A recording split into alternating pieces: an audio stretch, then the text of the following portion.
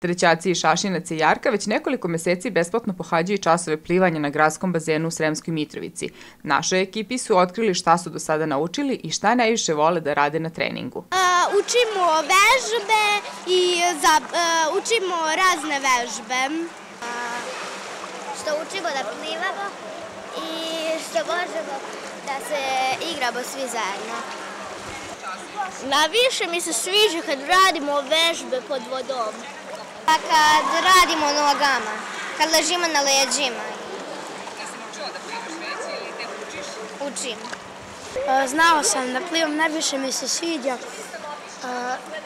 kada ronim se naučim. Je li trener strog? Ne.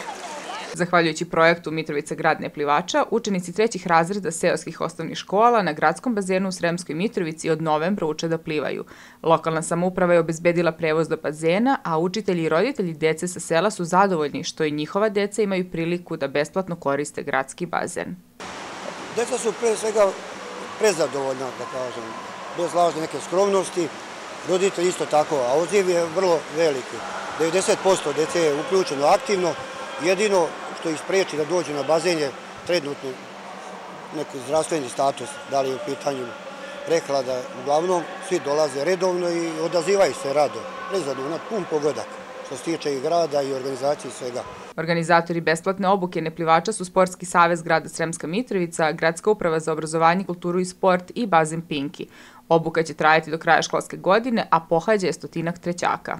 Kroz ovaj projekat, konkretno deca sa sela, su u prilici da nauče da plivaju, da funkcionalno znaju da plivaju i ovaj projekat ako bude funkcionisao u narednih par godina i ako ga budemo pojačali, vrlo brzo će Mitrovica stvarno biti grad bez neplivača. Kako na kraju nosioci projekta Mitrovica grad neplivača ističu, zadovoljstvo, sreće i zdravo odrastanje dece sa sela su svakako prioriteti, ali ko zna, možda će se među njima pojaviti i neki novi plivački šampion. U svakom slučaju, plan je da do kraja školske godine svi trećaci prođu obuku i da Sremska Mitrovica zaista postane grad neplivača.